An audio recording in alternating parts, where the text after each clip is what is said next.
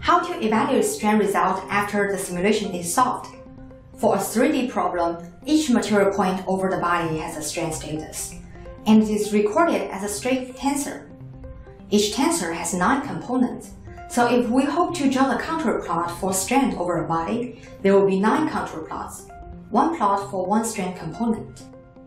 Let's plot the normal strain in tension direction for the uniaxial tensile test problem.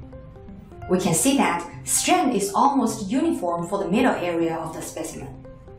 However, for the area that geometry becomes not regular, the strain value has clear variation, which shows that strain is a local value.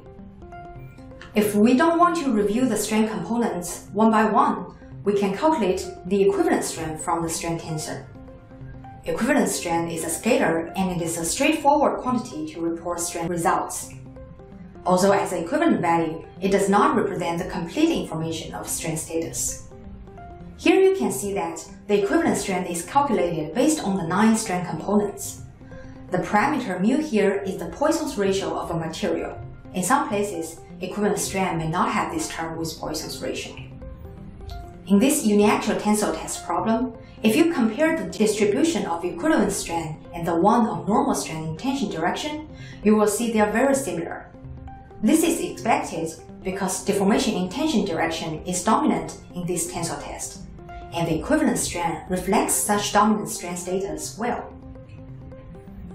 In mechanical design and analysis, it's common that an engineer needs to predict or recognize the failure of materials. Material failure is not necessarily always the breaking point or fracture point of the material. Depends on the design objectives, a material can be deemed as failure when yield point is reached or certain amount of distortion is reached. Strain can be an indication of the critical failure location and compared to a material allowable to predict strain factor of safety.